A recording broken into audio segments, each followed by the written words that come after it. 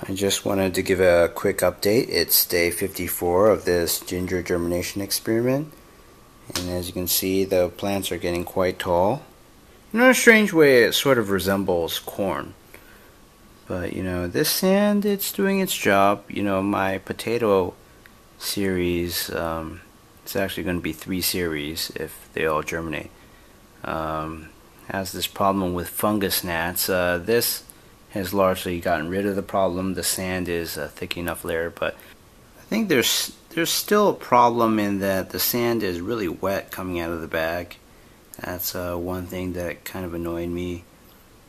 And you know, basically they probably do that just to make more money by giving you waterlogged sand. And when it dries out, it leaves all these cracks along the edges of the pot. And it just has these uneven surfaces. I don't want even a remote possibility of fungus gnats being able to, you know, get out of the ground layer or get in and lay eggs. So I'm to have to patch this up at some point.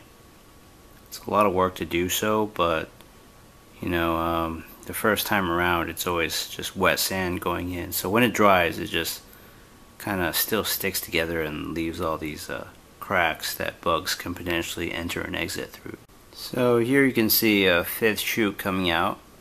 And you know it's grown. It's uh, about three centimeters or taller and I don't know where it came from. I thought this rhizome cutting only had one bud but apparently not.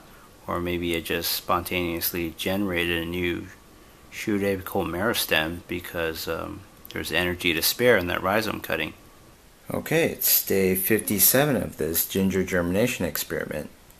And this plant has grown very tall, the center one. So a new shoot system has emerged out of the sand, and this is from one of those rhizome cuttings from more towards the top, you know, of the original six, you know, rhizome slices.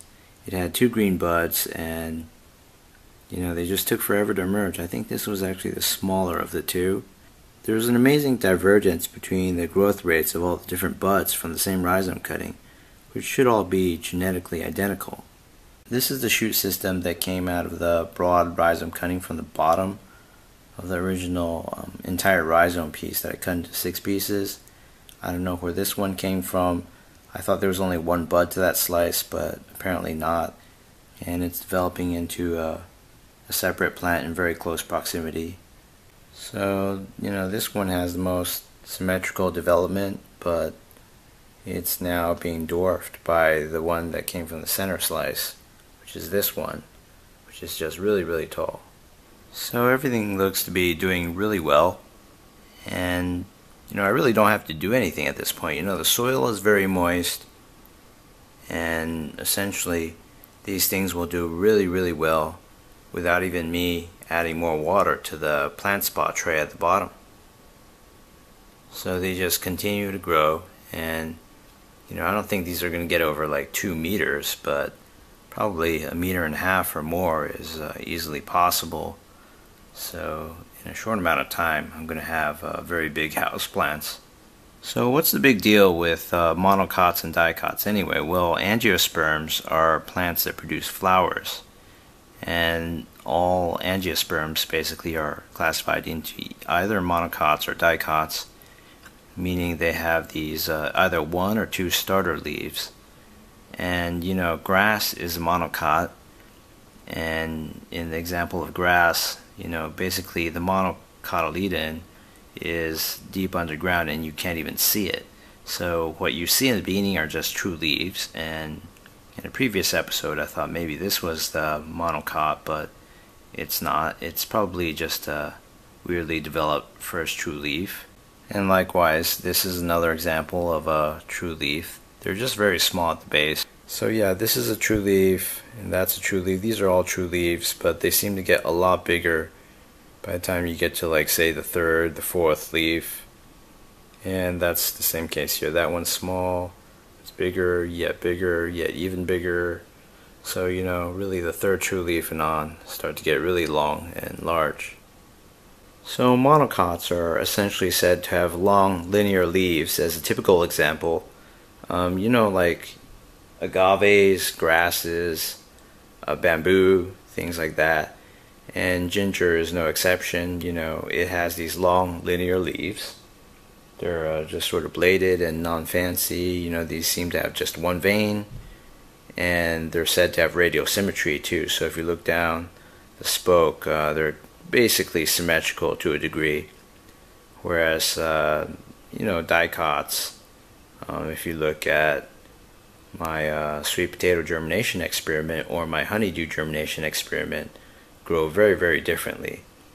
So in the case of ginger, I don't think I would be able to see cotyledons unless I dug up the entire uh, rhizome cuttings and examined the very base.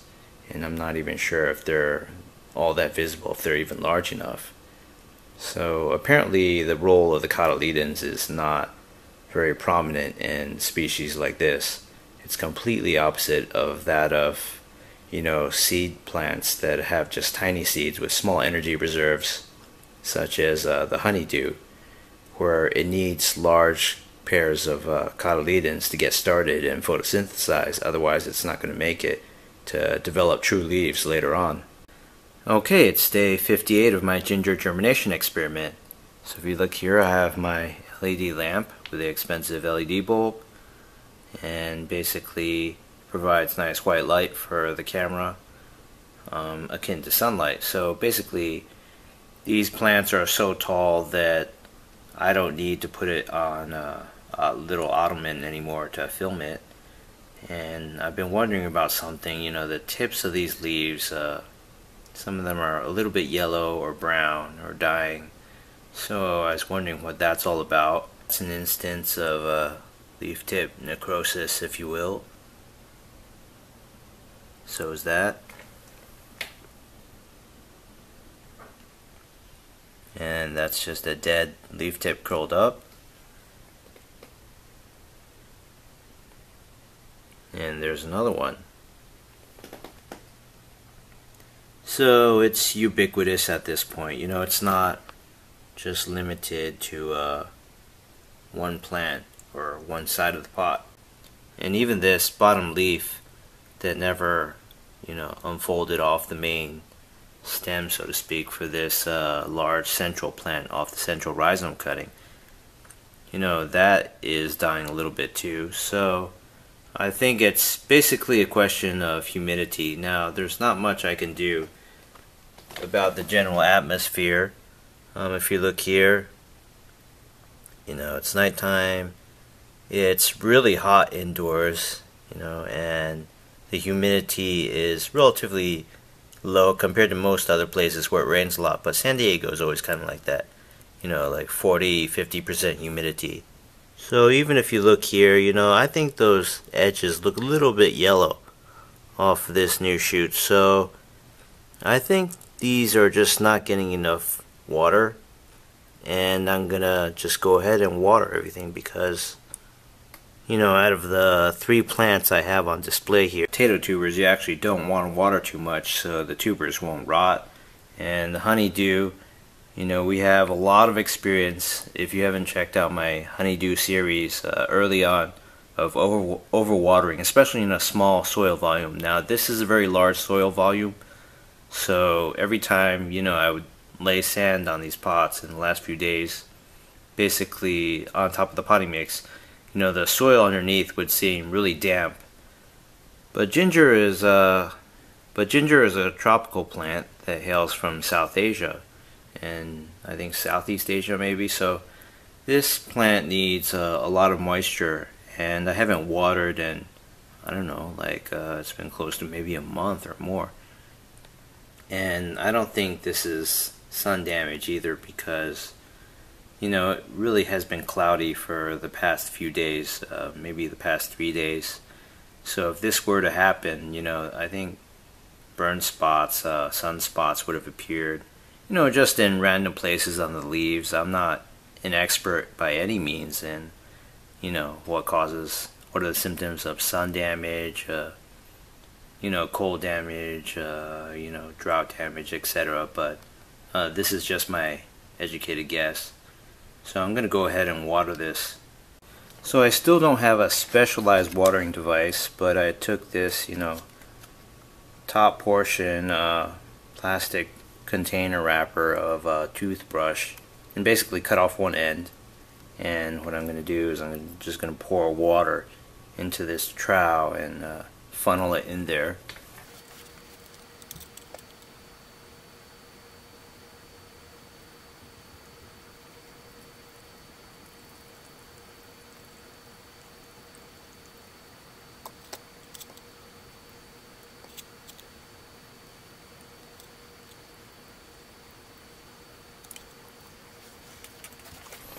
Alright, so I still made a little bit of a mess. You know, I still got some drops on the carpet, but that's pretty full and it's a lot easier than just, uh, you know, kind of pouring a centimeter over the carpet, you know, with a gap between the mouth of the bottle and that lip to this plant spa. So it's pretty much full now.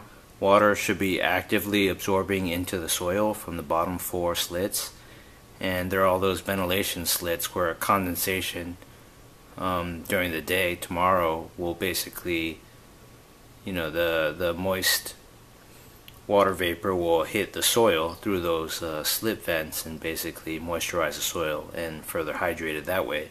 So we'll see where the water level's at tomorrow. It's day 59 of this ginger germination experiment so I thought this ginger germination experiment was going pretty well, but I can see kind of a snafu coming up. Um, this just relates to yesterday's problem, which is, you know, new leaf tips are sort of dying.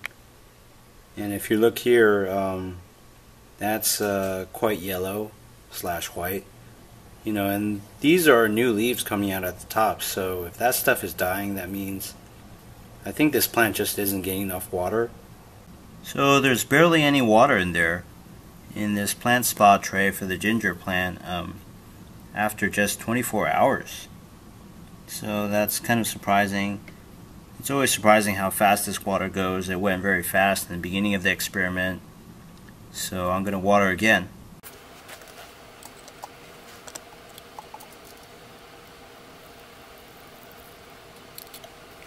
Okay, so it's fairly well watered now. And since I watered fully yesterday, I expect most of the soil to be saturated by tomorrow. And hopefully this drought problem should be over. So if there's one thing I've learned about growing plants, it's that adversity strikes hard and often. And since plants can't talk to you or make any kind of, you know, movement or sounds to indicate that they're in distress, uh, you pretty much have to figure out what's wrong with them and sometimes that can be really tough. So it's really different from raising animals where you know they'll uh, kind of let you know that they need food or water or whatnot. So yeah, it's uh, not easy.